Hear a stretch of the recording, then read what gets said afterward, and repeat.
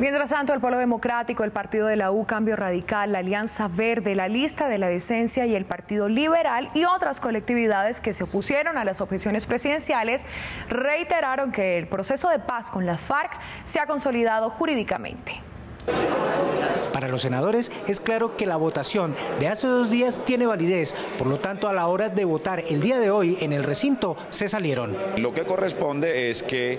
el presidente del Senado curse traslado a la Corte Constitucional tanto del resultado de la votación en Cámara como de los resultados de la votación en Senado. Ahora toca esperar que sea la Corte Constitucional la que defina cuál va a ser la situación de estas objeciones de la JEP. Y ahora la Corte Constitucional, cumpliendo el procedimiento que había sido determinado, va a revisar todo el expediente y no dudamos en que enviará a la sanción presidencial la ley estatutaria de la Jurisdicción Especial para la Paz. Ahora los senadores de la República le hacen un llamado a la Corte Constitucional para que se tome el tiempo necesario y de una vez salir de este limbo jurídico en el que se encuentran las objeciones de la JEP. De hecho ya eso había sido cosa juzgada